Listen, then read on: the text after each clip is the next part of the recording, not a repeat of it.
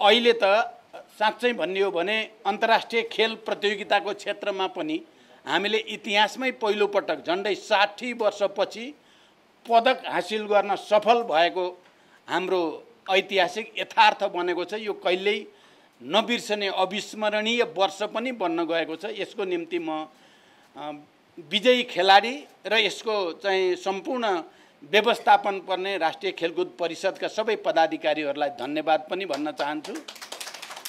मलाई विश्वास छ चेस प्रतियोगिता पनि बिस्तारै देशको खेल क्षेत्रमा एउटा महत्त्वपूर्ण प्रतियोगिताको रूपमा स्थापित हुनेछ। मैले गणतन्त्र नेपालको पहिलो प्रधानमन्त्री भएदेखि नै दुईवटा क्षेत्रमा मेरो विशेष रूपले राजनीतिका क्षेत्र विकास निर्माणका क्षेत्र बाहेक दुईवटामा मेरो विशेष ध्यान थियो र अहिले पनि छ। एउटा खेलकुद नै हो।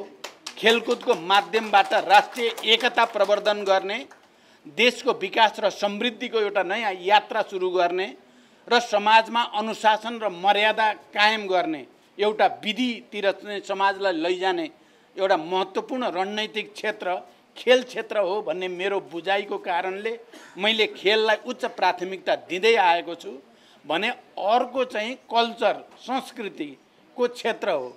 किनकि संस्कृतिले पनि देशलाई जोड्न हाम्रो देशका सबै जात जाति भाषा भाषी क्षेत्र वर्ग समुदाय सबै संस्कृतिलाई एउटै सूत्रमा बाँध्न र राष्ट्रिय एकतालाई प्रवर्धन गर्न र अनि त्यसरी एउटा विकासको समृद्धिको एउटा नयाँ यात्रा सुरु गर्ने क्षेत्र पनि हो भनेर मैले सांस्कृतिक क्षेत्रलाई पनि अझ मैले पहिलो प्रधानमन्त्री हुँदा यसको निम्ति एउटा अक्षय कोष होस् भनेर मैले दिल खोलेर चाहिँ सांस्कृतिक क्षेत्रलाई पनि सहयोग गरेको छु। किनकि यी दुइटै क्षेत्र राष्ट्रिय एकताको लागि अनुशासनको लागि समाजमा मर्यादा कायम गर्नको लागि महत्त्वपूर्ण क्षेत्र हुन् भन्ने मेरो बुझाइ हो।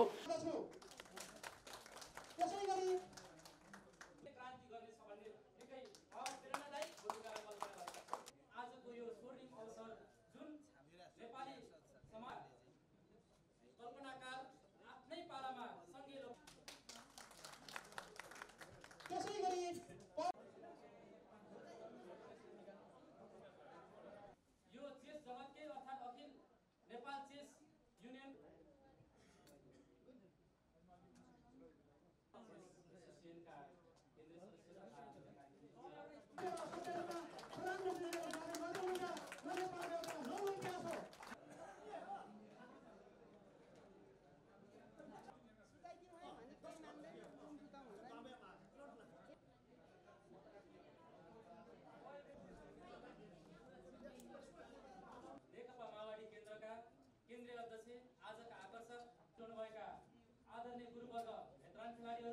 पत्रकार